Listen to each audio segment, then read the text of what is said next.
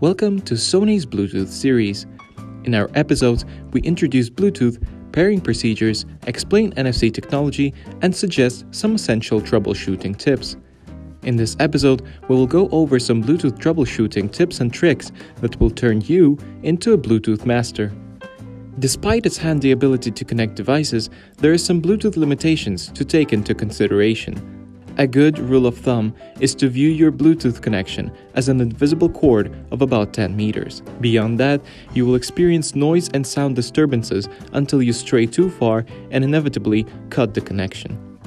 It's good to remember that the 10 meter indication discounts obstacles. Metal objects, thick concrete walls or beams, and other wave emitting devices will decrease the distance.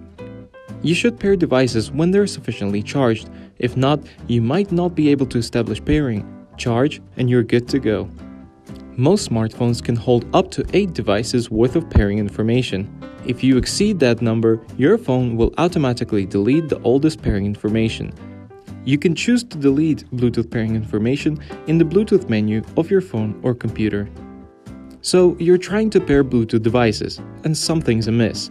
You might be unable to detect your device, you might be unable to hear sound while your certain Bluetooth is set up. Here are a few tricks to try. Confirm if the right device is connected. You might have Bluetooth products around. Be sure the right two devices are connected. Once they've exchanged pairing information, Bluetooth devices will automatically connect when turned on.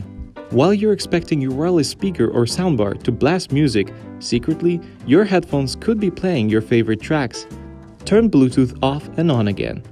A very easy but effective trick. If you're trying to pair devices and you can't find the device you want in your Bluetooth menu list, try turning Bluetooth off and on again. This works for both computer and smartphone.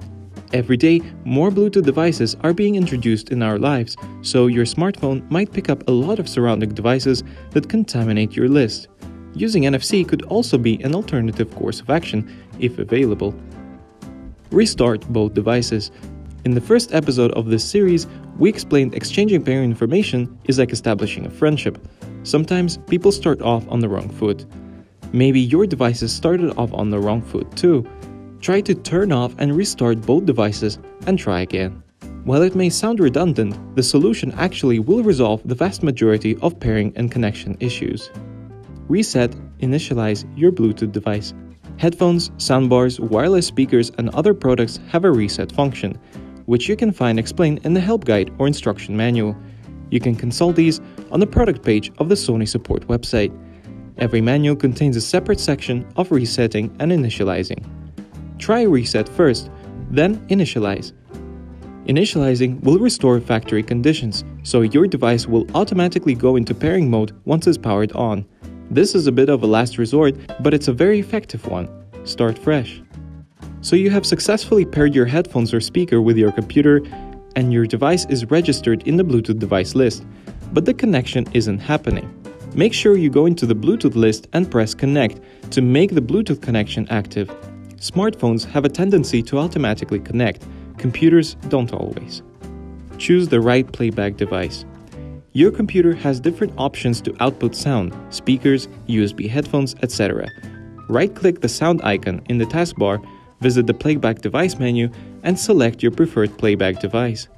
Also, be mindful that some programs and applications have a dedicated setting for the playback device, which can overrule your computer setting. If your computer is not picking up your Sony product, you might not be running the latest Bluetooth drivers. A driver is a software component that lets the operating system and a device communicate with each other. If it's not up to date, it might not pick up some Bluetooth devices. Your computer manufacturer develops these drivers so you can find the latest drivers on the support website of your computer manufacturer. After installing them, retry the pairing procedure.